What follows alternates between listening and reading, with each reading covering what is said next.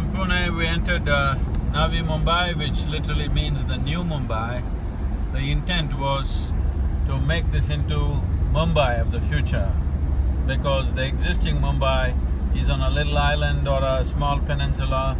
So this is the mainland. So they built the infrastructure and today we had a rousing, rousing, super rousing welcome and uh, the infrastructure here is fantastic. The city looks really nice and beautiful and the administration uh, also doing a good job on this.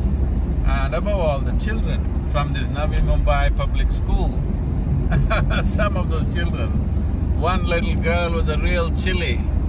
And if chilies like that are there in the future, I'm sure the nation is in good hands because the spirit